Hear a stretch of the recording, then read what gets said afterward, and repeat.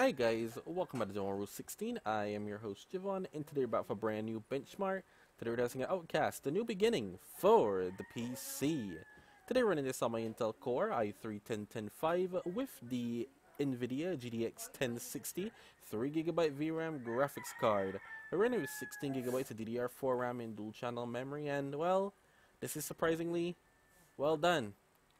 With 3 gigabytes of VRAM, it's somehow managing to do something. We're running at 1080p on the low preset. We have screen percentage still at 100% resolution. And like I said, we're running on low, low settings. Everything else across the board just to give us a chance. Now, for what I'm seeing here, this game is playable like this. It is very CPU demanding. As you can see, my CPU is there like, help, please. I'm dying over here. Don't do this to me, Jevon. But I'm like, I, I, I gotta. We're just gonna go over to the combat area, but as you can see, the CPU is being pushed heavily. This crap is demanding for a CPU. Okay, my frame rate just just dipped like crazy. My frame rate just went down. Holy crap, my frame rate just said nope. You thought this was so this I'm gonna guess this is an Engine 5 game. I'm, or maybe not, I'm not sure. Once again, I'm still not sure. This is just the demo of the game. Obviously, the game comes out next month, and I just thought, hey, I'd beat, I'd beat the crowd and get here quicker, so that when it actually comes out, I don't have to worry about testing it on too much hardware because I've already tested it on a lot. But 1080p low seems to be playable. If I want to hit 60, I'm probably going to have to drop the rendering scale to like 70%, maybe. Actually, no, I, I actually don't think I can do that. Because what I'm seeing here is my CPU is struggling. So if I was to drop that render scale now, I, I just I'd really run into a CPU bottleneck. I would. I'd just run into a CPU bottleneck. So that's probably not for the best. That's not the best course of action here. To get 60 FPS with an i3 is, is probably not really in the cards for this for this title. It would seem.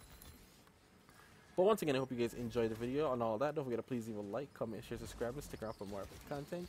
You guys got a GTX 1063 gig too? Because I'm completely maxed out here. The VRAM is completely maxed out. It's using a lot more RAM than I using 9 gigs of RAM. That's a lot more than I believe it used for the Vega. Because we are being pushed. Oh snap!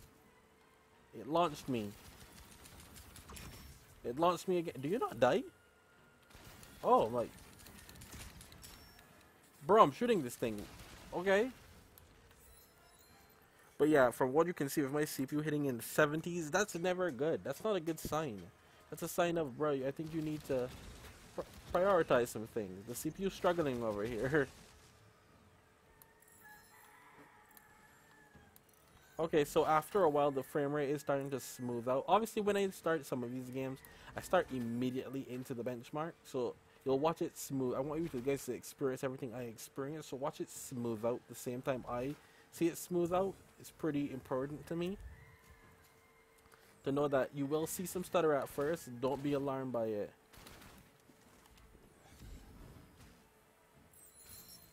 Eventually it gets better. It's basically what, what I do here. So yeah, it's not the worst, but obviously it, it could do better. You could do better. And just for the sake of transparency, we will... Oh crap, I don't know why I came over here just to see. So I'm getting about 46, 47 FPS in this area, just to see if we can actually somehow attain. I don't recommend this, but for those of you with maybe a faster CPU, let's do 85%. We're really going to be pushing our CPU here now, though. Yeah, you see what I mean? Like, I gained barely anything from this, and my CPU is that much closer to a bottleneck. And honestly, it looks way more blurry here. We are getting 60 at points now, but it's a lot more blurry.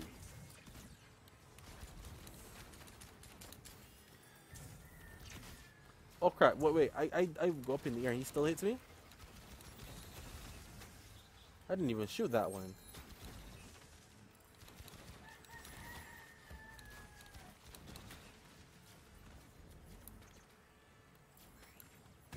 Yeah, probably not the best. I'm curious to see how this is going to run on the, the, the, the 960 though. Like how how is this going to run on a 2 gig card?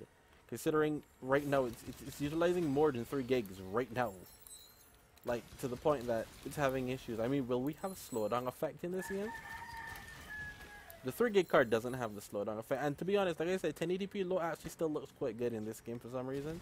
I guess they optimized it to look really well. Like, it still looks good. Yes, some areas look a little flat. Shadows are definitely took a back seat. But other than that, it looks somewhat decent still. Anyway, uh, once again, I hope you guys enjoyed the video. Don't forget to please leave a like, comment, share, subscribe, and stick around for more epic content. I'm just going to mute myself, so enjoy the rest of the gameplay, and I'll see you guys next time.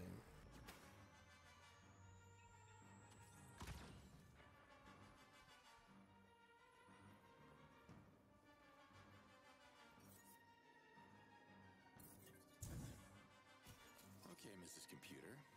Let's see what happens when I press these keys.